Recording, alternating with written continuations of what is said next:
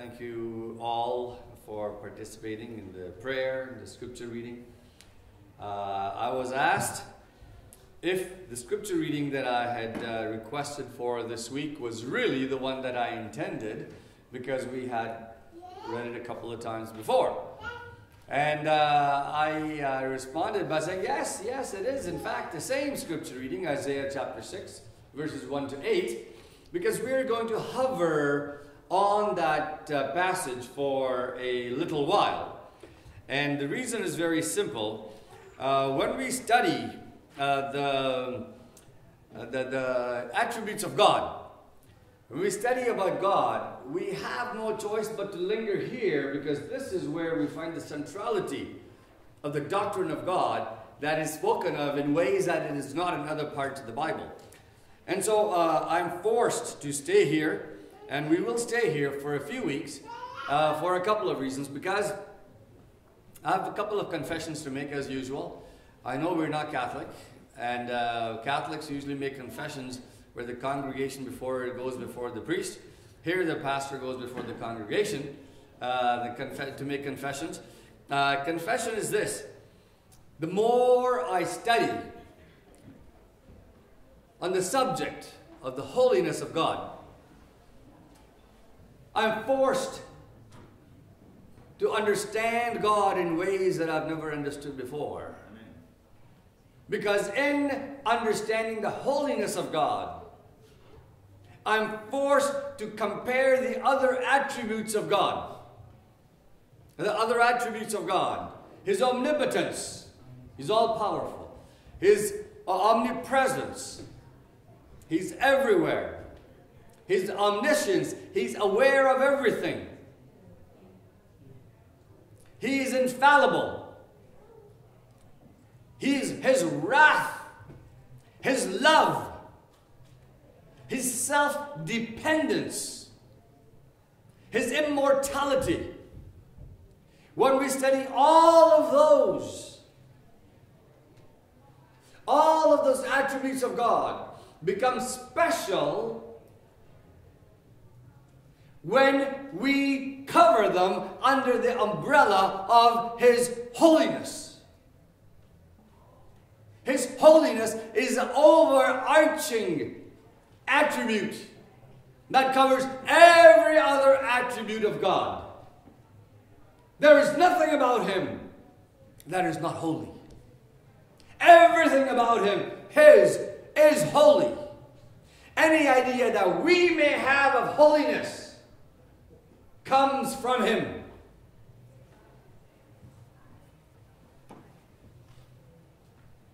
It is important for humans to understand who God is. And we cannot understand that without understanding His holiness. And it is from the knowledge of God it is from understanding God that every human being behaves in the way he or she behaves. Irrespective of what faith you claim, if you are Hindu, if you're Buddhist, if you're Sikh, if you're Muslim, even if you're an atheist, if you're a Roman Catholic or a Protestant, no matter who you are, your understanding of God affects how you behave. If you believe that God is a loving and a gentle God, and He is going to forgive everything. And that God has no wrath, God has no anger, God has no disappointment. Then your life will show that I can do whatever I want and God is going to forgive me and I will be in heaven. If you think that God is judgmental, and he will punish me, then I will behave toward those around me in that judgmental way. If I think that my God requires me to go and kill all non believers, then I will go and behave that way. If I believe there is no God, my life will show that in the way that I live. The knowledge of God, the depth of knowledge of God is imperative to transform the way we live. Because the way, what we believe, is what we do. A.W. Tozer wrote about this in a marvelous book called The Knowledge of God. And by the way, I should make another confession that I am not a systematic theologian. People who are systematic the, the, uh, theologians are well studied people who have uh, doctorates, not, a, not your basic doctoral degree, but they have a uh, doctorate in theology. And what a doctorate in theology means is you do four years of bachelor's, two years, not one year, but two years, sometimes three years in a master's program, and then several years, maybe four to six to eight years in a doctoral program. And also means you have to learn Hebrew and Greek, German and French, and Latin.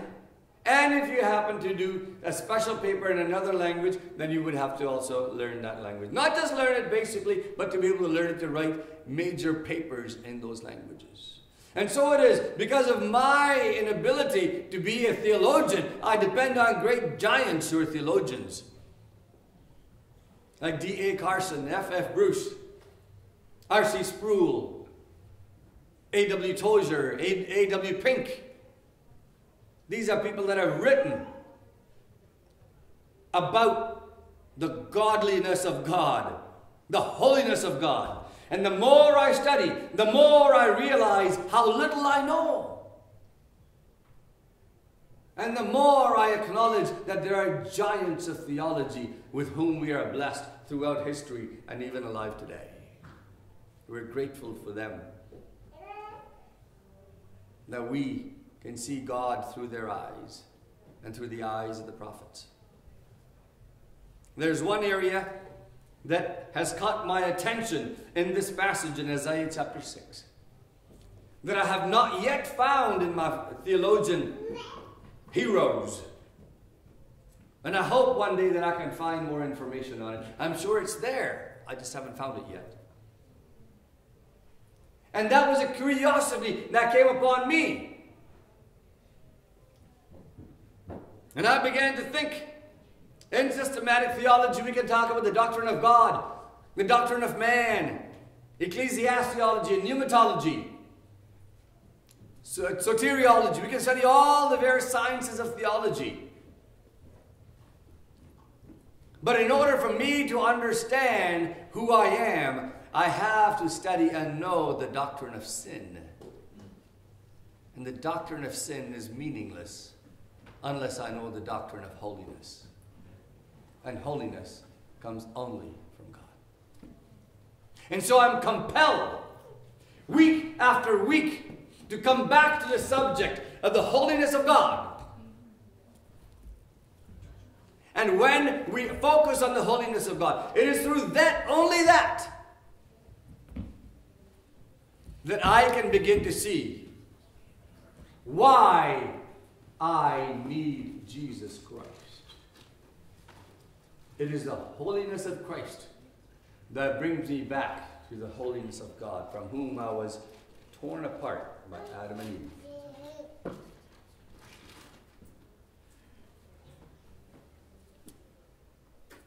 In studying God in this chapter, I became curious. And I thought, why is it that Isaiah starts this chapter by saying, In the year that King Uzziah died.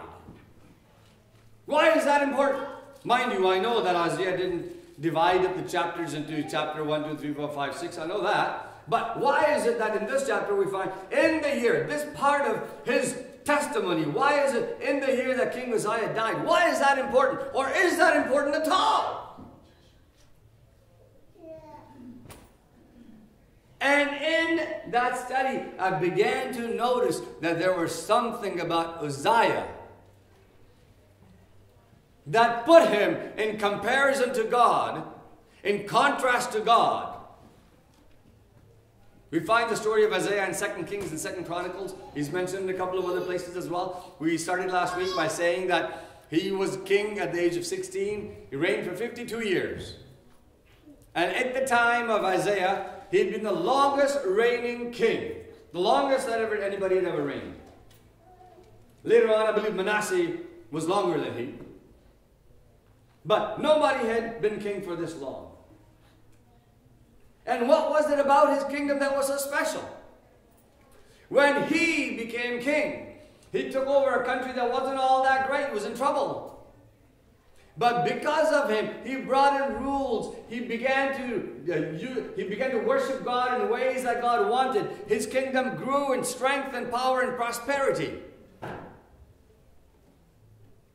He started new ways of agriculture that they'd never used before. So they had better grains, better harvest than ever before. He built fortresses in ways they had never built before, where they could build out a portion of the walls, where they could shoot back arrows down toward the enemies climbing the walls. He developed new machines that they had never had before, machines of war, and machines that made life easier Economy was growing. He trained his army. Do you know at his time, way back then, do you know he had the biggest army back then? Right now, I believe we, uh, that, that Russia has an army of about 300,000 soldiers. And I understand India has got the, I think the second largest, 1.2 million or something like that. But 300,000 soldiers, and we know how powerful Russia is. At that time, King Uzziah had an army of 307,000 soldiers. You want to talk about power? That's huge. The country, not only his country, but all the then known lands sang praises to the king of Israel. Because of the uh, Egyptian influence on Israel, we have evidence in the Bible that Jews began to look at their kings as gods because they were called the sons of gods. Not the God Jehovah, but like miniature gods. They gave them that kind of titles. They put them up on high. He was special of all the kings. And then he became so special that his, uh, his kingdom and his reputation went all over the world. Other kings used to send him gifts to make sure that they remained friends and to gain favor of the king of Israel. And the king of Israel became proud. He was proud to look at his people. The temples used to be filled with, with worshippers. Filled with worshippers. But the worshippers didn't have the heart of worship. You know why? Because of the success and prosperity. We see churches today that are full, packed with believers because somebody has convinced them that prosperity equals a relationship with God. They come to church, sing songs, go home happy, and gain no relationship with God because they don't know God. They know entertainment, they know feel good. And that's exactly what was happening in Israel. Not only were the people losing their relationship with God, but their king was losing relationship with God to the extent that he became proud and he went into the temple. And he went there to the altar of sacrifice where they sacrificed animals, altar of incense, and there he began to put incense on the altar. And the priests came to him and said, No, this is not your work. We're told 80 priests sons of Aaron, went to him and said, No, you cannot do that. They began to chase him out. And when they told him to leave, he became angry because his heart was filled with pride. I am so special. I am so powerful. Who are you to tell me? And leprosy came on his face. It was required. It was required by law that if you were a leper, you had to be separated from the people. And wherever you went, you had to scream out, unclean, unclean, that the people may walk or run away from you so they don't come in, in contact with the leprosy, with the unclean. This righteous king, successful king, now had to walk around, if he was going to walk among his people, and say, unclean, unclean. He was taken away from the palace and put in a house outside the city where he lived the rest of his life. And when he died, in the year that he died, all of Israel went into mourning. All of Israel went into mourning because even while he was not in his palace, he still influenced the happenings in Israel through his son. When he died, the hope of the people died with them. Their prosperity died with him. Their celebration died with him. No special. Their power died with him.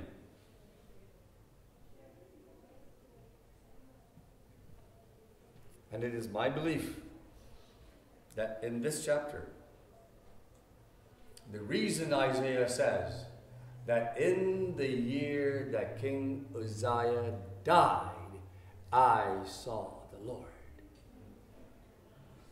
When we make for ourselves gods, when we make for ourselves mansions, when we make for ourselves reputations, when we make for ourselves influence, when we make for ourselves power, when we make for ourselves our own name, and pride begins to fill our hearts we must come to the realization that kings are also human and they come to an end.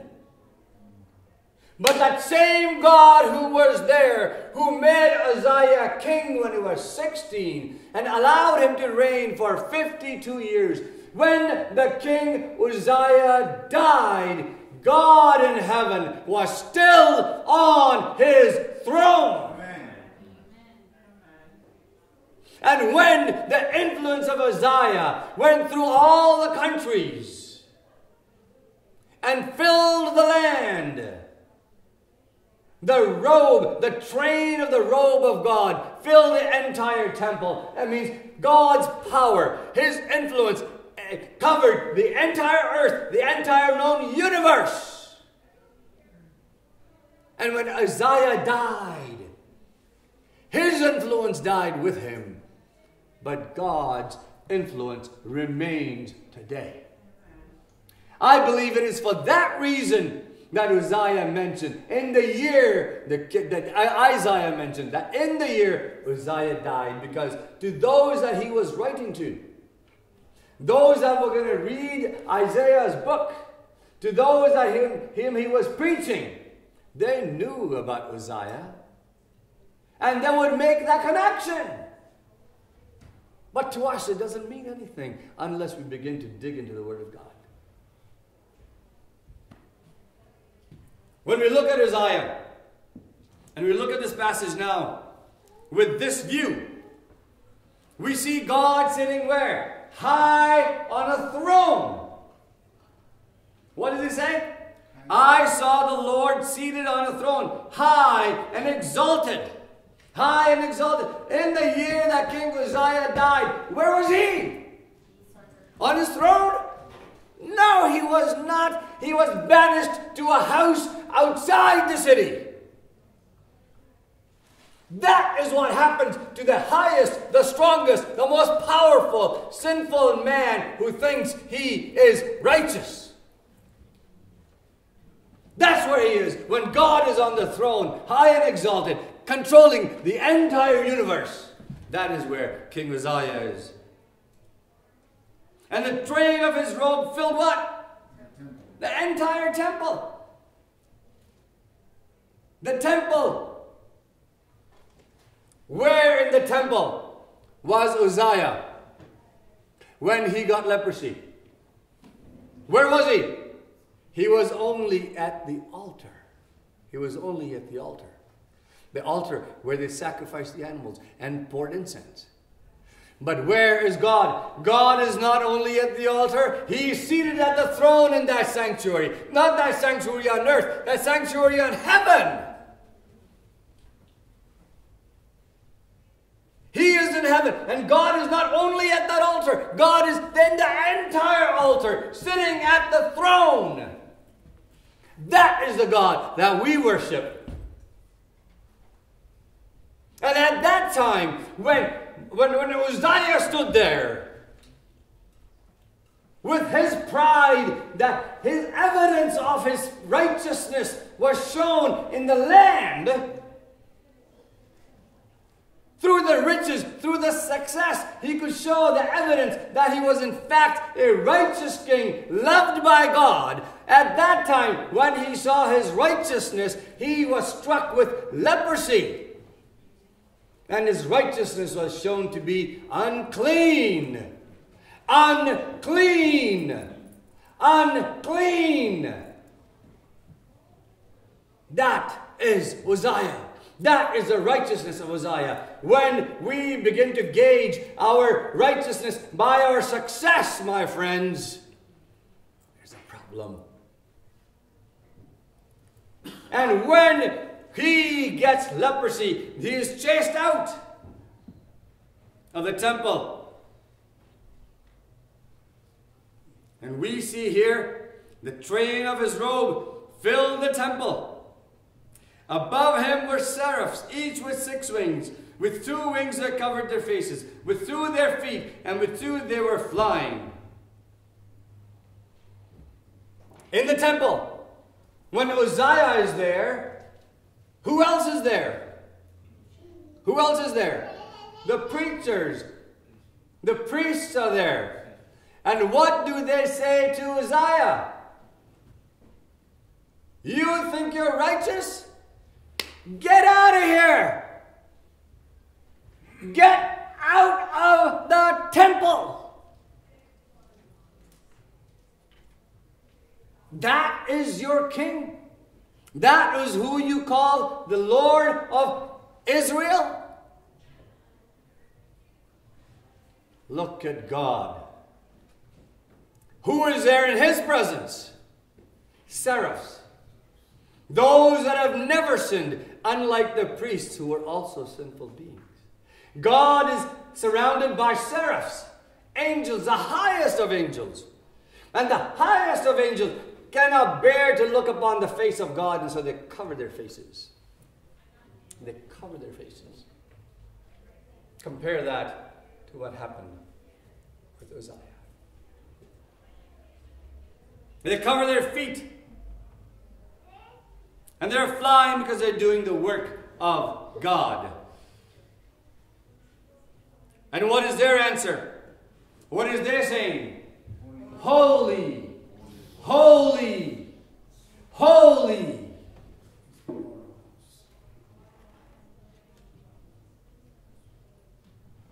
The word holy in English, we would say, if you were going to explain to somebody what is the most holy that you can be, we would say holy, holier, holiest.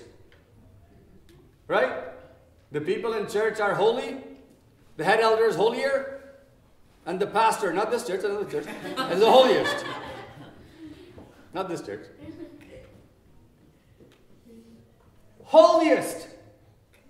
Is there anything holier than holiest? Is there anything holier than holiest? Nothing. The source of holiness is God.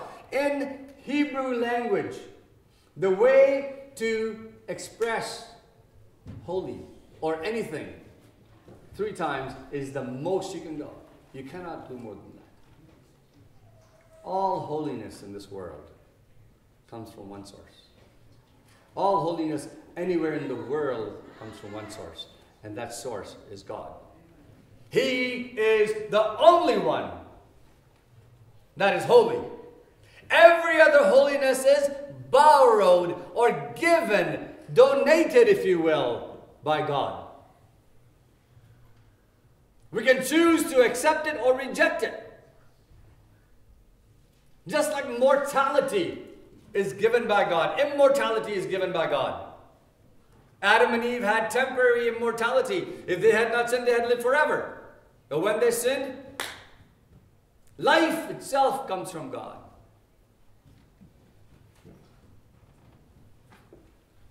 When we look at the condition of the people in Israel, we look at chapter 5 of Isaiah. And chapter 5 is full of Isaiah looking at the people of Israel and telling them, listen to this, chapter 5, verse 8.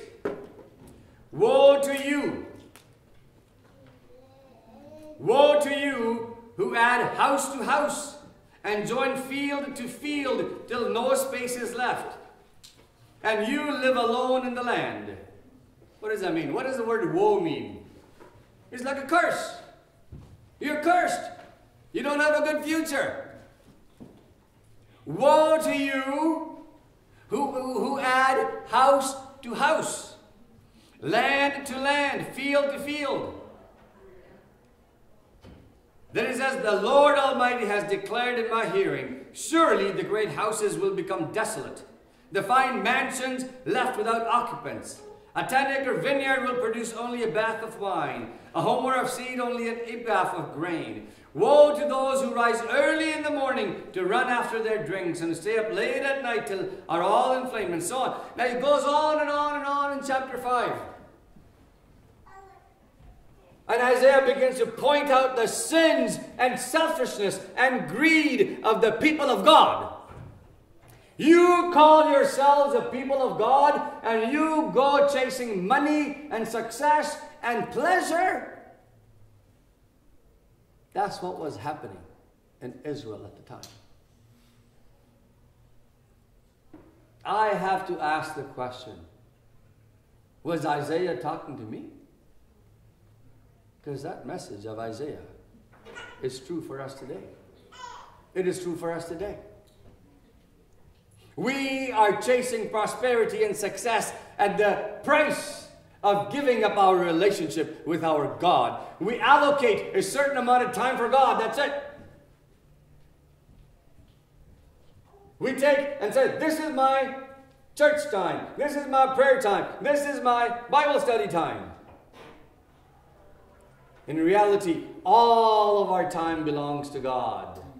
And within that time of God, we have some work to do. We may have to go play a game of soccer or read a book, but still within the confines of obeying and living the, God, the way God wants us to live. Amen. Just as the holiness of God is all encompassing in all the attributes of God. The holiness of his people that comes from him is all encompassing all of the attributes of our humanity and all of the activities of our humanity. I'm compelled to ask the question of myself Have I seen God? Have I got to know God? Because I know, I know that when we meet God, we are forced to go down on our knees and confess that we're sinful, in need of a Savior, in need of salvation. Too often, we compare our righteousness to others. around us. That is why Jesus says, don't judge others, because compared to others, we look pretty good. Seriously. Especially those of us that are Seventh day Adventists. We do everything right. Look, here's the Bible. Look at us. We do everything right. You guys are, you're in trouble. It's very easy. We need not to look at one another. We don't need to point out anybody's sin. We need to point out to God that He may point out our sin, and that may cause us to run to Jesus Christ. It is only through the holiness of Jesus Christ that we can be holy. And anybody that is not holy cannot abide with God. Look at the seraphim. They're perfectly holy, sinless. And yet, they wouldn't dare open their eyes to look at God. How can we? There is a direct relationship to our knowledge of God, to our behavior toward Him. It is because of that lack of knowledge that we have casualized our relationship with God. We have made Him a buddy. We brought Him down to our level. We don't prepare our hearts and our minds and our bodies and our clothes to meet Him. We need to ask God to show us His attributes that we may be driven to Him, that we may want to be like Him. And the only way that we can do that is through Jesus Christ. Amen. Through Jesus Christ. He is the only answer for us. And so it is that it is my hope that as we continue studying the God of the Bible, the God of the Old Testament and the New Testament, the God that never changes, the same yesterday, today, and forever, that same God that Isaiah could not look upon, we cannot look upon today. And do you notice what happened to Isaiah? In chapter 5, he goes on and talks to the people and he says, Woe unto you, woe unto you, woe unto you, woe unto you, curse on you, curse on you, curse on you, because you don't follow God. And then when he sees God, he says, What? Woe unto me. Woe unto me. It is my hope that through these little sermons, I can help all of us to search out God Amen. in our own homes, in our own Bibles. And then, like Chuck Colson, I'll tell you, I don't know many of you would remember Chuck Colson. I was a big Richard Nixon fan as a kid. Uh, my dad allowed me to skip school, believe it or not, and listen to the Watergate hearings. If you, some of you that are old enough would remember. Chuck Colson was a White House lawyer, attorney. Also ended up in jail for a certain time. He ended up studying the character, the holiness of God. And he says, when he understood the holiness of God, he fell on his knees and he cried like a baby because he understood what it means to be a sinner. My friends, the reason that we will continue studying the holiness of God is because in order for us to have a reformation in our hearts and see the need of Jesus Christ, we need to study the holiness of God. I was warning somebody last week that it seems like the more I study, the deeper I study, it seems like I'll be preaching about the subject for the next two years. It's so deep. And sad to say, I'm afraid of the transformations that are taking place in my life because it's not easy to change your life when God requires it. And it is my hope that in some small way, our studies here will cause God's power to change all of our lives and drive us to the study of the Word of God, because that is where we find our God. And our Savior. Bless you.